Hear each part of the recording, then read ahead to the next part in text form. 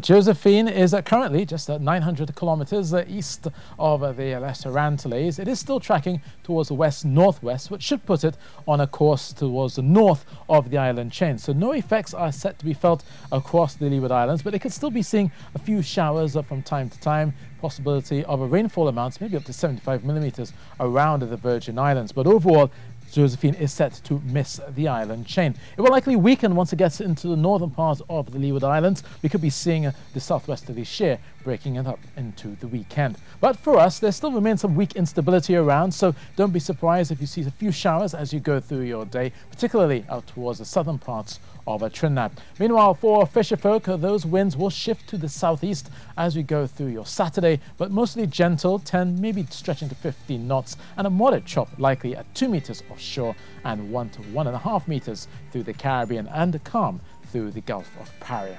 So that's your weather.